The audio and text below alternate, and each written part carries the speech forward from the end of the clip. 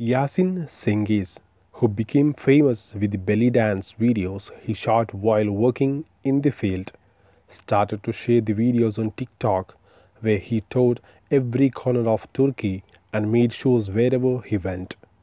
Yasin, who received great acclaim with the videos he shared, became a social media phenomenon known as the guy showman in the world, so much so that even in Dubai.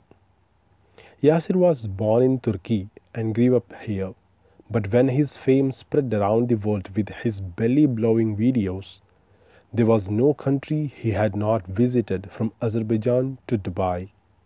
Yasin performed his famous dance by participating in the opening places such as Doner and Pizzeria.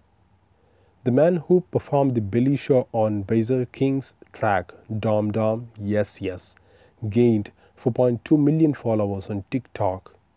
Each of his videos is watched and liked by millions of people. He goes to big openings to do belly shows and shoots videos with famous names. Known for the videos he shot while working in the field, Yasin also shot TikTok videos with other celebrities such as Pascal Nouma, Besiktas star Gedson Fernandes and CZN Burak. Yasin received 67.8 million likes on TikTok for his videos.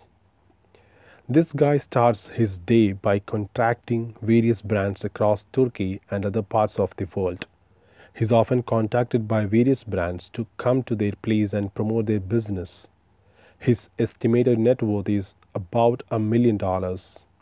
This is just an estimate on social media. The actual earnings could be different.